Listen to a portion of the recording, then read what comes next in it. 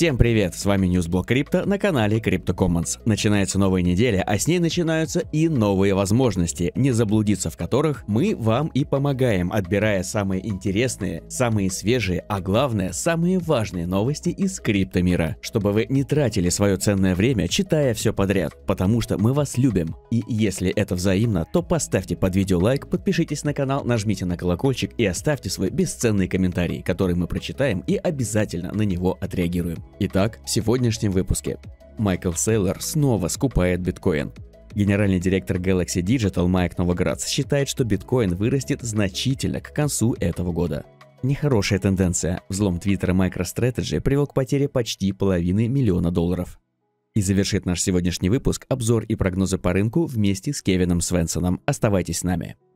Итак, у MicroStrategy очередной огромный закуп – 3000 биткоинов по цене 51,8 тысячи долларов.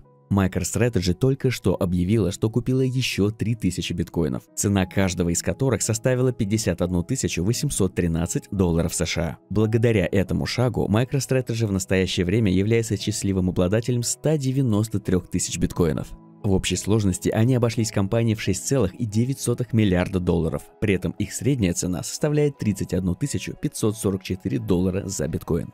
В текущих ценах общий стек стоит чуть менее 10 миллиардов долларов, что обеспечивает доходность компании около 63%. Что тут можно сказать? Да в целом все понятно. MicroStrategy продолжает и будет продолжать скупать биткоины. Поднявшись выше уровня воды, точнее выйдя из убытков.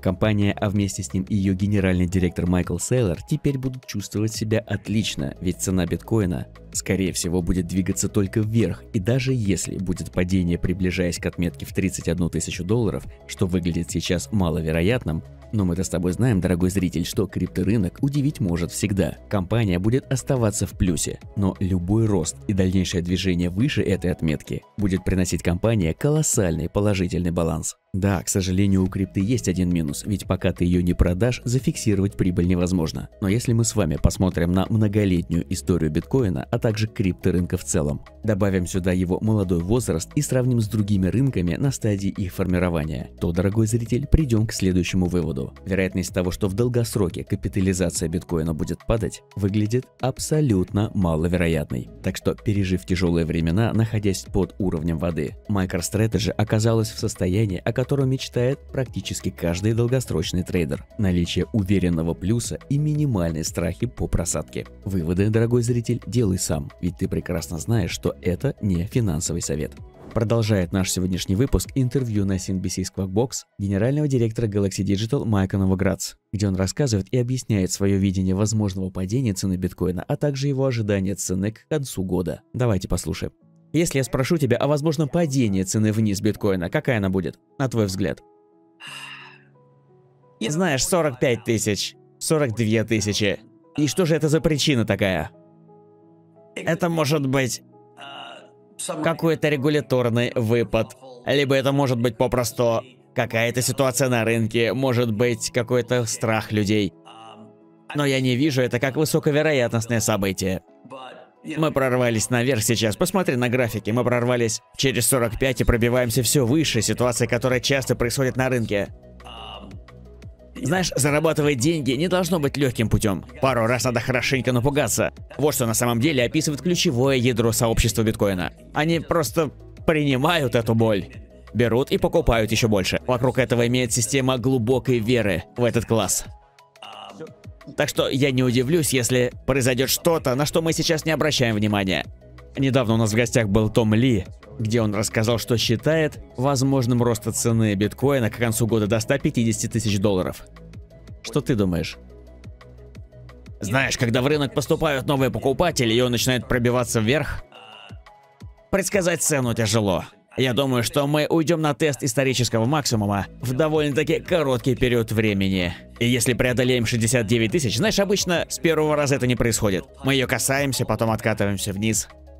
Затем чудовищно злимся сами на себя, потому что не продали или не закупились. Потом он взлетает снова, но как он только пробиваем 69, мы можем пойти на 150 или 125 тысяч. Ох, ребята, вот слушаю я вас и пребываю в полной уверенности, что впереди ожидают только золотые горы. Но именно в такие моменты золотые горы превращаются в огромные впадины, точнее бездны. Поэтому и ты, дорогой зритель, иллюзий не питай. Вся прелесть, а одновременно и ужас крипторынка заключается в том, что он совершенно непредсказуем. Он жесток, чудовищен, непонятен и всегда идет против толпы, а главное, он не подчиняется никакой логике. Поэтому даже абсолютно железная логика, согласно которой в рынок поступают новые средства, рынок растет и впереди нас ожидает только тузимун, могут оказаться полной шляпой. Единственно важное новое этой истории заключается в том, что все-таки имеет место положительный тренд. Мы растем, и это очевидно. Поэтому вопрос лишь в том, как долго этот тренд продолжит расти. И все имеющиеся в настоящий момент данные по рынку говорят одно – тренд расти продолжит. Однако, дорогой зритель, мы также хорошо помним, что всегда имеют место очень внезапные коррекции, и иногда они вытряхивают так сильно, что начинают сыпаться кирпичи. И вот в такой момент главное не запаниковать. Для этого нажми на колокольчик напротив канала CryptoCommons и всегда оставайся с нами.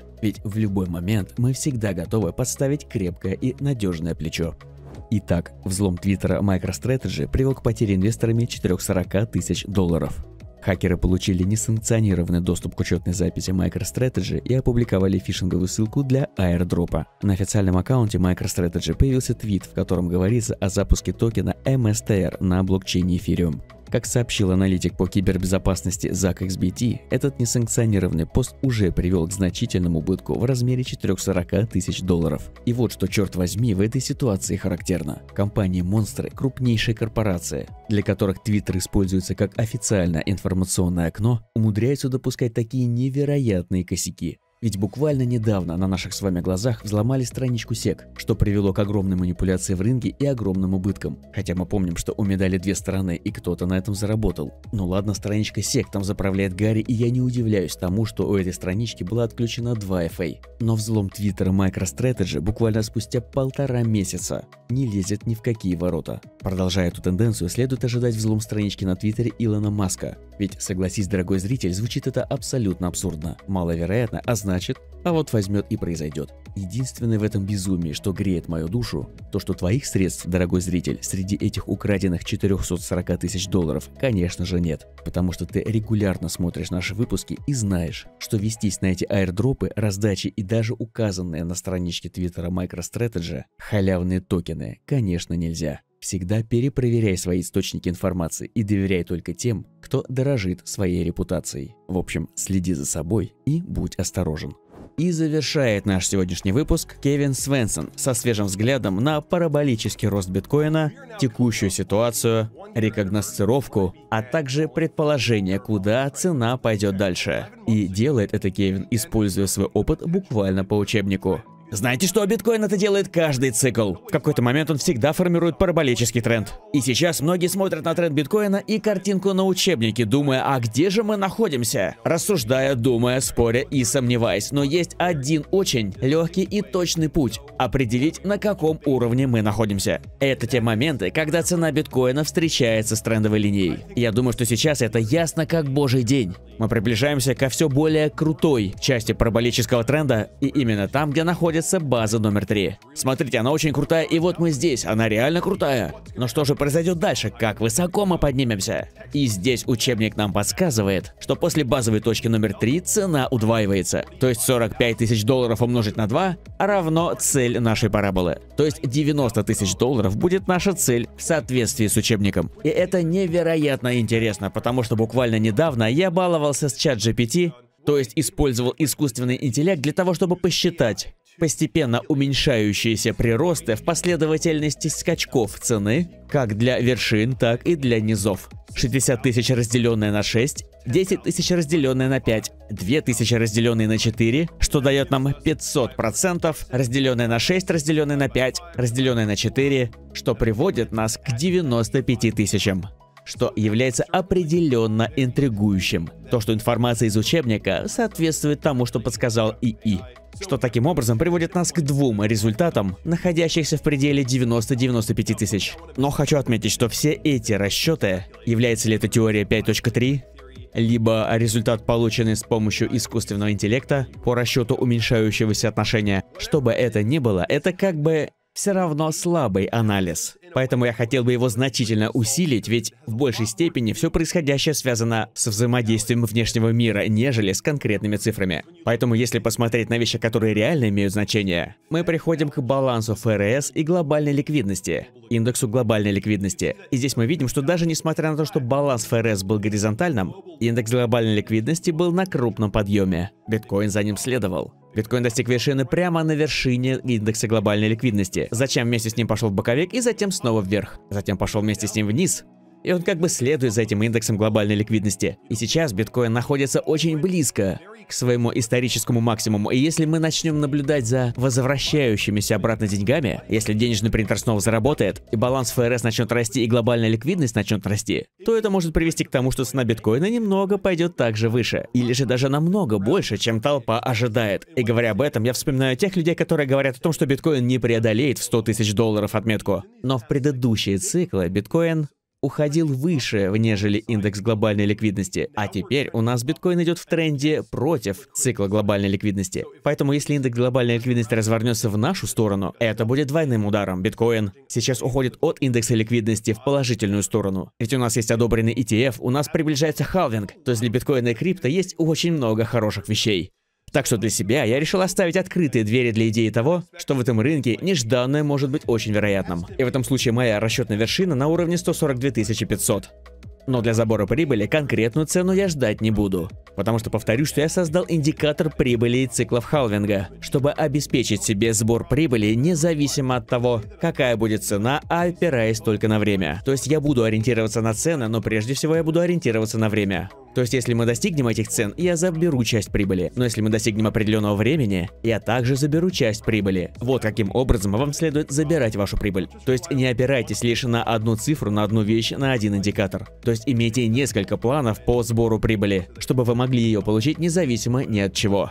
Что ж, Кевин, спасибо за глоток свежего воздуха. Некоторые вещи ты уже говорил, но мы прекрасно знаем, что закрепление материала идет только на пользу. Но главное правило мы от тебя услышали. Никогда не используйте для принятия решения что-либо единичное. Самый правильный подход – это диверсификация, которая нужна не только в инструментах для определения принятия решений в трейдинге, но также и в источниках информации, которые вы используете для принятия таких решений. В свою очередь, мы делаем все от нас зависящее, чтобы источник информации на канале CryptoCommons для вас был хорошим и надежным информационным другом. Мы очень стараемся и надеемся, что вам это нравится. И если это так, то нажми на лайк, подпишись на канал и напиши в комментариях, что тебе зашло, а что нет. Мы его прочитаем и сделаем себя немного лучше. На этом у меня все. Я желаю тебе отличного трейдинга и до встречи в следующем выпуске.